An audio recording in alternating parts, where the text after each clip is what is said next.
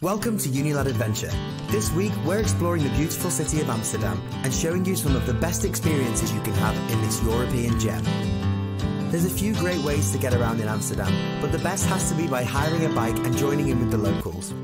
The average price for a bike is 10 euros a day, with some multi-day rates at around 8 euros. Alternatively, it's a great tip to grab yourself a travel chip card. These will allow you onto all public transport in the Netherlands, and they cost 7 euros 50 a day. We also tried out Uber, but with the one-way systems and the heavy traffic, it just wasn't the best choice.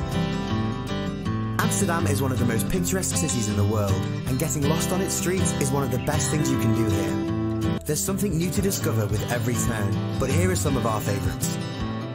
The Negen Straatjes is an area in the heart of the city that's made up of nine small streets that straddle the canals. It's known as Amsterdam's most picturesque micro-neighbourhood, and it's full of vintage clothes stores, bakeries, and cafes. You absolutely have to check this place out, even if it's just to snap a few photos.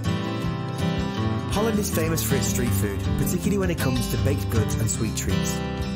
The stroopwafel is their staple, and you can find the most traditional handcrafted stroopwafels at Confectionery Lanskroon. We were able to go behind the scenes here and see just how they've been making this iconic treat for generations. It's made with two thin layers of dough and filled with caramel syrup. But here at Confectionery Lanskroon, they treat their stroopwafel making as an art form, and it really shows through in the final product. If you're not a big fan of caramel, then try Van Stapel. It's just a couple of doors down, and it's the home of the best stuffed cookies you'll ever try. These are double chocolate on the outside, stuffed with white chocolate on the inside, and they taste incredible. Along the canals, you'll find many interesting attractions, from the famous Anne Frank House and the Flower Market to the more bizarre, like this cat museum, which is fun to explore but kind of creepy as well. It's filled with artwork, ornaments, and even personal letters written to the cats that live there, who you're fully free to interact with as you walk around. There's also a lot of coffee shops that you can chill in around this area. If you love beer, then you should definitely check out the Heineken experience. The tour costs 18 euros and it takes about two hours. In that price, you'll also get two tokens to enjoy ice cold beers in their bar. But you get given another beer during the tour as well, so it works out as a pretty good deal. You'll learn all about the history of the brand and see how they make and bottle their special brew. There's even an option to print your own custom bottle for an additional cost. The Heineken experience is right on the edge of one of the most trendy neighbourhoods in the city. De Pijp is full of quirky cafes, bars, and one-of-a-kind boutiques.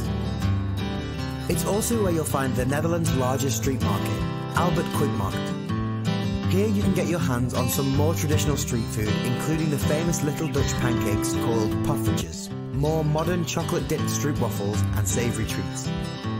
They also have souvenirs and clothing. Given the size and popularity of this market, you'd think it would be packed. And whilst it is busy, there's still plenty of room to move about and enjoy what's around you.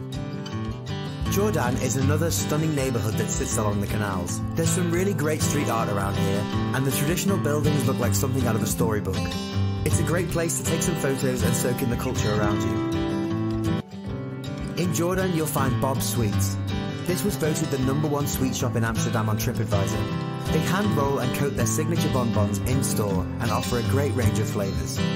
If you're a real foodie, then you'll appreciate the Foodhallen. This modern food market is set in an old tram depot. You won't find much Dutch food here because it's internationally themed and features food from all over the world, with everything from dim sum and sushi to tacos and burgers. It's a great place to come with a group because there's so much to choose from, and there's a couple of nice bars inside as well. You'll find the Foodhallen in the Oud West area, and it's really easy to get there on the tram. Back in the city centre, the museum quarter has something for everyone. From the classics to the modern, there's an awful lot to see here. There's currently a Banksy exhibit on at MoCo, and you can learn all about Amsterdam's art and history at the Rijksmuseum. Even if you're not the kind of person who visits museums, it's still worth taking a walk around here for the incredible architecture. This is also where you'll find the I Amsterdam sign. But good luck trying to get a clear shot, because nowadays it's crawling with tourists all the time. Heading down the road, you'll find Vondel Park. This is Amsterdam's largest park and it's surprisingly quiet.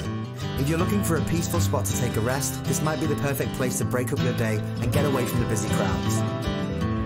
An alternative escape is NDSM. You can take a ferry over the river to get here. It was formerly a shipyard and has now been converted into a really cool space with a big flea market, bars and cafes.